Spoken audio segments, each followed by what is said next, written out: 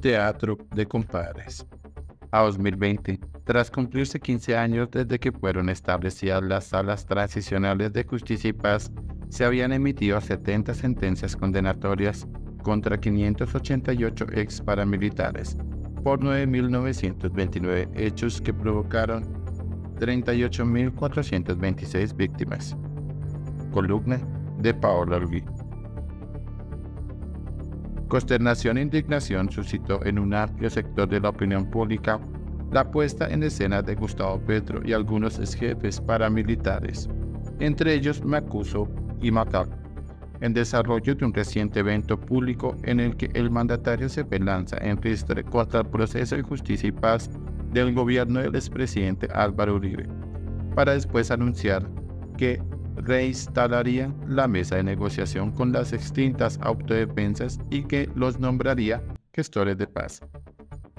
A decir verdad, resulta difícil definir qué es más desconcertante, si el anuncio de Petro de reencauchar un proceso filiquitado hace varios lustros o que los jefes extraditados a los Estados Unidos por continuar delinquiendo desde las cárceles durante el proceso de desmovilización mantengan su palaz diatriba de haber sido traicionados por el gobierno entonces. Que no quepa duda alguna, quienes traicionaron la confianza a los colombianos y sus autoridades fueron los 14 ex jefes paramilitares extraditados en mayo de 2008. Su extradición es prueba de la seriedad y solidez de un proceso cuyo marco jurídico continúa vigente y cuyos resultados son visibles.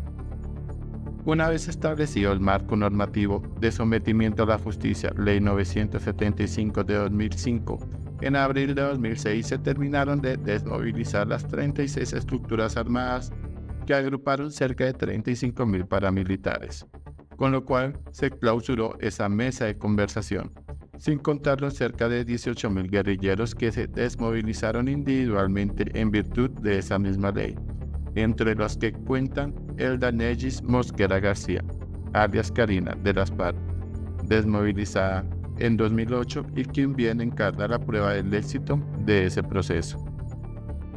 Dato mata relato.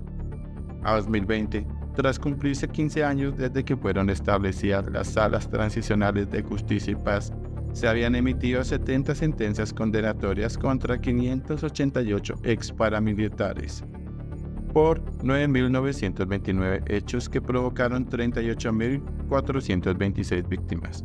Casos emblemáticos que involucran graves crímenes como desapariciones, violencia sexual, torturas, despojo, desplazamiento forzado, reclutamiento ilícito y masacres. Para ese año, aún continuaban en investigación 81.732 hechos criminales a la espera de sentencia, con 154.370 víctimas reconocidas. En total, según datos de Justicia y Paz, son 238.019 hechos relacionados con estas estructuras ilegales. Además, hasta esa fecha se habían efectuado más de 2.500 compulsas de copias en contra de particulares y servidores públicos relacionados con estos grupos. 10.000 exhumaciones y 4.609 restos de víctimas identificados y entregados a sus familiares. Finalmente, en lo que respecta a la reparación a las víctimas, de acuerdo con el fiscal Francisco Barbosa, entre 2006 y 2019, la Unidad de Justicia y Paz o de Justicia Transicional de la Fiscalía General de la Nación entregó a la Unidad de Víctimas 483 mil millones para reparación a los que se sumaron 1,8 billones correspondientes a 1.600 bienes entre 2020 y 2023.